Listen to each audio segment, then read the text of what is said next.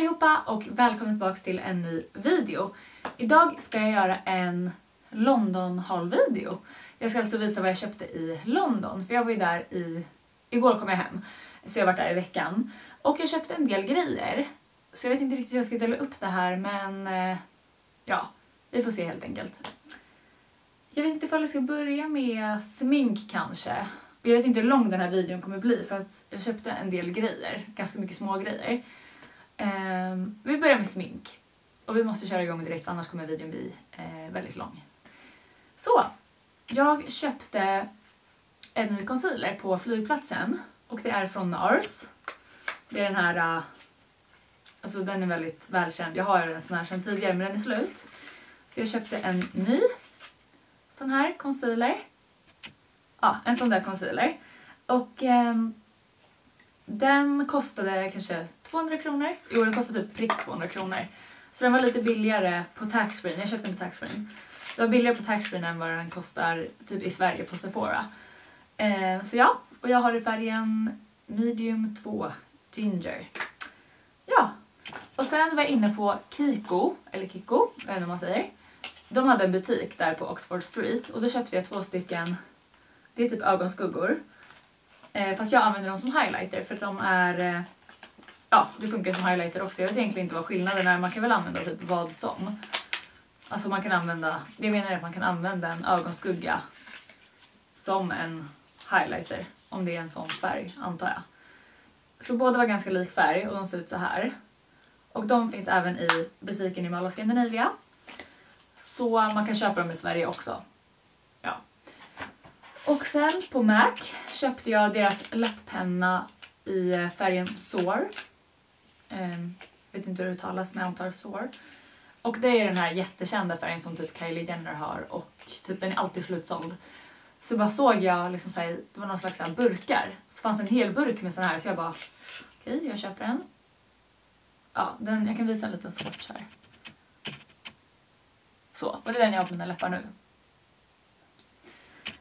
Och förlåt för att jag pratar lite snabbt men jag vill bara inte att videon ska bli för lång. Liksom. Det blir ju väldigt tråkigt.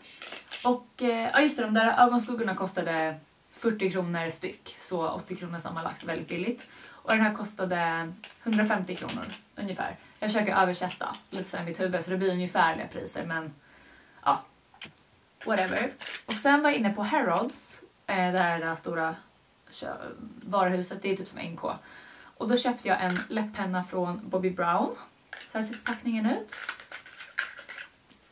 Och den, det här är en läpppenna också. Den ser, den är väldigt lik den här. Ja, den här är lite mer lila skulle jag säga. Så ja, och då fick man även med en pennvässare.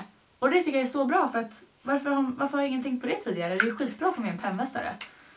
Jag har ju typ ingen bra som funkar till läpppennor så det var sjukt bra.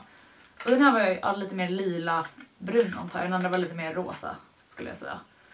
Och den här kostade, jag tror den här var lite dyrare. Den kanske kostade 200 kronor då. Ja, och sen på flygplatsen köpte jag en till sak. Och det var en, ett liquid lipstick. Eller ja, vad man nu säger. Jag kan visa en liten swatch. Så den var väldigt rosa. Så jag vet inte ifall jag kommer gilla den men säkert. Och vad ska vi gå till nu? Vi kan ta Victoria's Secret. Och där köpte jag faktiskt bara tre par trosor. Och jag köpte, då så här ser färgerna ut. Som ni ser, så jag kan visa liksom en modell. Och det är såna här väldigt liksom, vet, ja, bara streck typ. Men jag, jag älskar streck. Eh, alltså jag tycker de här är så sköna. Eh, jag kan bara ha såna där typ. Okej, ska vi gå in på det jag köpte på Primark? Heter det Primark eller Primarket? Gud, jag vet inte. Ja, whatever. Jag ska bara ta en thumbnail. Eh, men vi går till det som jag köpte på Primark. Eh, och det var dels den här tröjan. En vanlig V-ringad tröja. Och sen köpte jag två par svarta jeans. Alltså den här tröjan kostade 40 kronor tror jag. Alltså den var jättebillig. Och så köpte jag svarta jeans, bara sådär. Jättesköna. De kostade 60 kronor kanske. Och så köpte jag ett par till och de kostade också typ 60 kronor. Så det var jättebra. Eh, och sen köpte jag såna här bomullspads eller vad det heter. Och trosor. Sen köpte jag nya pincetter. Jag tyckte de här var jättefina och vet ni hur mycket de här kostade? De kostade 10 kronor. Ja, det är sjukt. Eh, ja. Och sen så köpte jag örhängen. Jättefina. Eller alltså jag vet inte riktigt. Alltså jag är inte de här stora, det är nog inte min grej. Men de här lite mindre kanske kan funka för att jag är inte så mycket för örhängen. Eh, jag får typ jätteont och mina öron blir typ jätteröda och sen... Jag tycker inte att jag är snygg i örhängen. Men de här kanske funkar. Who knows. Och sen köpte jag två stycken brun utan sol. Jag kan visa den ena för den andra är någonstans där borta.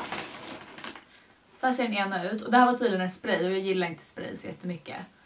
Eh, så den heter Self Tan Spray for Body Apply Easily och jag tycker verkligen inte att det är Apply Easily för det här, jag står så här och sprayar. Det kommer liksom prickar på mig, hur ska man, alltså jag förstår inte riktigt. Ja, och jag köpte en till brun sol men som sagt så den är eh, någonstans där borta. Så vi skiter i den. Och ja. Och sen så det roligaste, tycker jag i alla fall, alltså det som jag blev mest glad över, det var en ny väska från Stella McCartney som jag köpte på deras butik där. De var jättetrevliga, alltså han var svensk, säljaren där. Eh, så här fick man en liten dustbag till.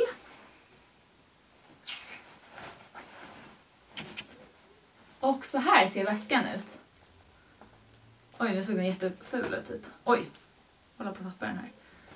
Det är en sån här, eh, en lite mindre festväska faktiskt. Eh, som man har liksom så här, eller så här. Man väljer själv. Men jag tycker att banden är lite för långa. Så jag eh, satt liksom en, ett snöre, nu ska visa så här. Och då blir banden kortare och då kan man ha den bara så här. Så att den är lite kortare, jag gillar lite mer så. Så det var väl lite, det som var lite dåligt. Ja. Så en ny väska och jag är jätteglad över den. Ja.